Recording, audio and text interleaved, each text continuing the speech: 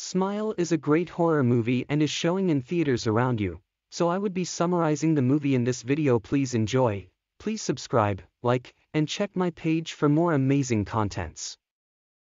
At the point when the loathsomeness accounts of the 2010s are composed, the 10 years will be related with injury illustrations how the 80s are with slasher motion pictures.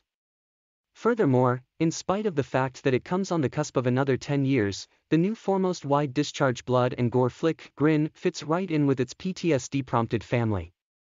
The distinction here is that the beast is scarcely a similitude by any means, the devil, or detestable soul, or anything it is, the film is unclear on this point, in a real sense benefits from. And is spread by, injury, in particular, the ambiguous something that K9's Dr. Rose Cotter, Sosie Bacon, all through Grin, prefers the flavor of individuals who have seen another person passing on by self-destruction, grisly, difficult, horrendous self-destruction, by garden shears and approaching trains and the broke parts of a clay container in a clinic consumption room. That is where Rose momentarily meets Laura, Caitlin Stasey, a PhD understudy who's brought to the mental crisis ward where Rose works. Shaking and panicked that something is on a mission to get her.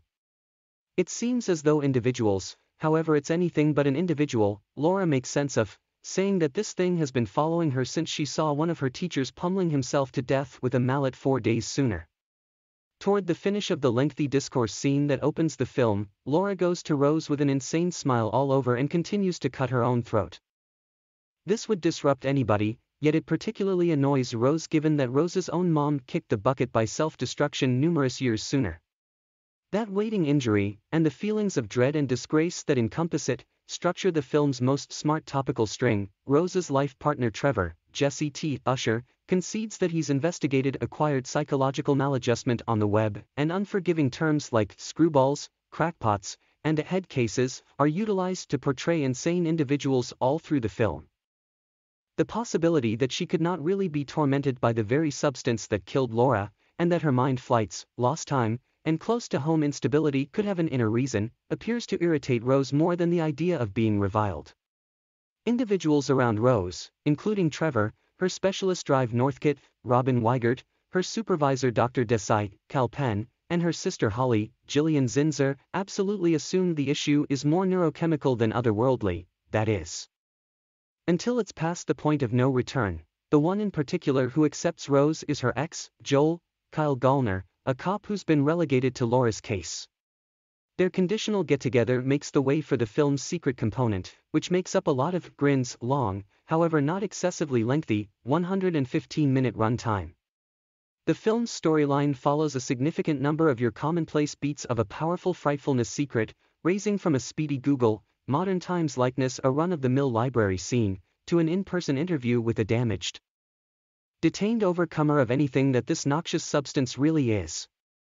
Brief reference is made to a group of comparable occasions in Brazil, opening up the way to a continuation. Grin's most noteworthy resource is its determined, harsh terribleness. Here youngsters and pets are all around as helpless as grown-ups, and the loathsomeness components are horrendous and upsetting to match the dim subjects. This unsparing reasonableness is upgraded by Bacon's unstable, weak execution as Rose. At a certain point, she shouts at Trevor, I'm not insane, then murmurs a statement of regret and peers down at her shoes in disgrace.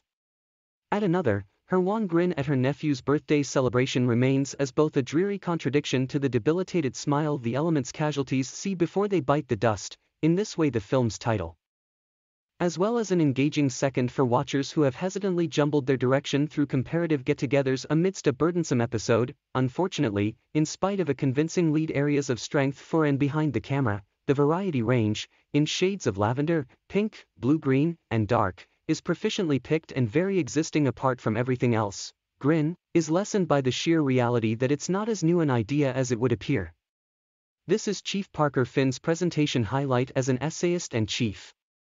In light of a short film that won a jury grant at South by Southwest 2020.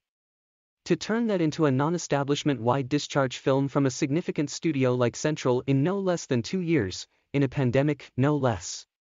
Is a great accomplishment, certainly, Be that as it may, in cushioning out the idea from a 11-minute short into an almost two-hour film, Grin inclines too vigorously on equation-based secret plotting, yet in chat. addition on repulsiveness I'm subjects and symbolism something. lifted from well-known hits like me. The Ring and but not It a friendly Follows. smile. It's the worst smile David I've Robert Mitchell's 2014 Whenever I see it, film I is a particularly noticeable, god-awful suppose, effect on something really Grin, which, terrible joined with its situation on the It's It Truly About told me Injury that today's continuum. Day that I'm- Make this a gonna- less propping film insight than see it it could have right been had it thought outside the box all the more forcefully.